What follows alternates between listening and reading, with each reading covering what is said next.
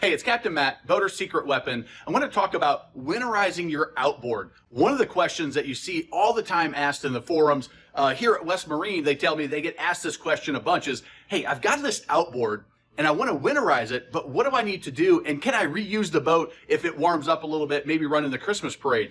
And the answer is yes, you need to winterize it, but it's much easier than with a stern drive or an inboard. The winterization process is really about getting the water out of the engine so it doesn't freeze. Now, there's another step that I like to add, which is getting your boat ready to sit for extended periods of time because you likely won't be using it as often as you would in the spring and the summertime. So what you want to do is you want to follow your manufacturer's recommendations on draining the water out of your system. For several of them, that requires you to take the engine in the down position, tilt it all the way up, and then all the way back down. And what you're doing is you're making sure any water that's anywhere in those tubes, uh, in your hoses and the system is getting to the lowest point and getting drained, getting drained out so there's no water to freeze and to expand and to cause damage.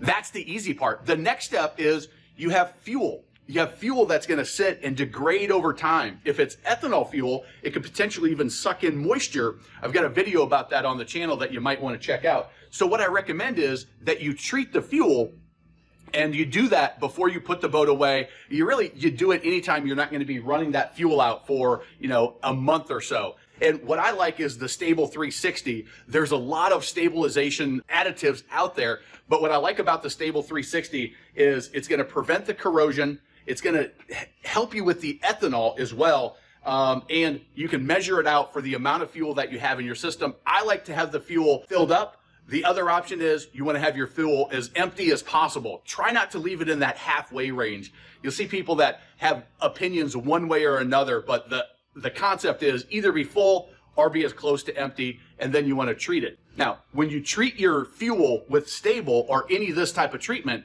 you want to make sure that you pour it in and then it gets sloshed around and mixed around. So if possible, take the boat out and run it for 15, 20 minutes so it gets all mixed around and it also, that treatment gets through all of the fuel system, including through the engine. What you don't want to do is just dump it in and say, I treated my fuel, I'm done. You've got to make sure that you get it sloshed around, whether that's shaking it on the trailer a little bit, and then you have to run it for at least 15, 20 minutes, depending on uh, the size of your fuel system and how long it's going to take that additive to get mixed through the fuel and then run through the fuel lines into the entire system.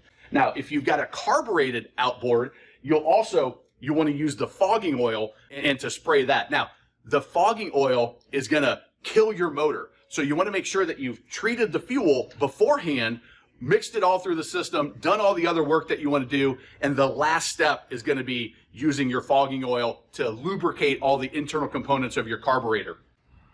The last thing that you want to think about is what are you going to do with the battery and all the gear in the boat? My recommendation is disconnect the battery. If it's in a really cold climate, get that battery inside, set it up on a block somewhere where it's not sitting on cold cement. And as far as gear, my recommendation is pull anything out that can be mold or mildew or being attracted to some of those rodents that may want to make their home in your boat over the uh, cold winter months. So do all of that work, use your treatment, treat that fuel, treat your batteries, and then the great thing about it is, if you do want to run your boat for the Christmas parade or there's a, a nice day uh, in December or January, hey, put the boat in the water, run it. You've already got your fuel treated. Throw the safety gear back in that you need and any foul weather gear that you need for the cold weather and the cold water.